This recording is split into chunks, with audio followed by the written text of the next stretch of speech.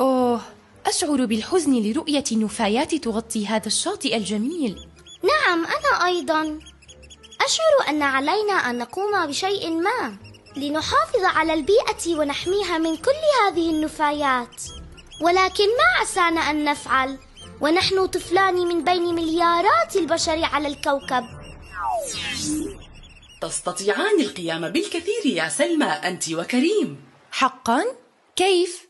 تستطيعان القيام بأربع خطوات مهمة. الحفاظ على المصادر الطبيعية. إعادة التدوير. تنظيف البيئة. ودعوة الآخرين للحفاظ عليها.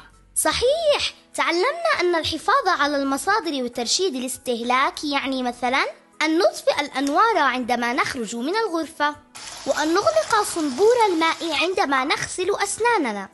ونركب الدراجة بدلا من السيارة أو نتشارك السيارة للوصول من مكان إلى آخر. أمثلة رائعة يا سلمى. الحفاظ على المصادر يجعلها تدوم أكثر وتبقى للأجيال المقبلة. وأنا أعرف أن إعادة التدوير تعني أن نفصل النفايات فنلقي بها في سلال منفصلة. الورق وحده والبلاستيك وحده والزجاج وحده والمعادن وحدها ليسهل جمعها وإعادة تدويرها. ثم تستخدم في صناعة مواد جديدة مرة أخرى. ممتاز يا كريم. إعادة التدوير تساهم في التقليل من حجم النفايات التي يلقيها الإنسان في مكبات النفايات والتي تأخذ بعضها مئات السنين لتتحلل.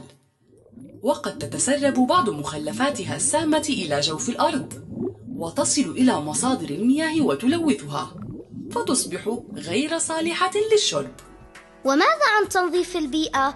كيف نستطيع القيام بذلك؟ شاركوا في حملات تنظيف للشواطئ وجوانب الطرق والحدائق والغابات والتي تنظمها المدارس ومجموعات الحفاظ على البيئة والأهم ألا تلقوا النفايات في أي مكان غير سلة المهملات المخصصة لذلك. وكيف ندعو الآخرين للحفاظ على البيئة؟ بالحديث عن أهمية البيئة.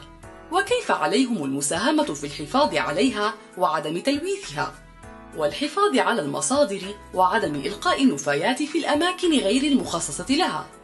وضرورة إعادة تدوير النفايات. وأنا شخصيا سأبدأ الآن من الخطوة الثالثة. سأنظف هذا الشاطئ من سيساعدني؟ أنا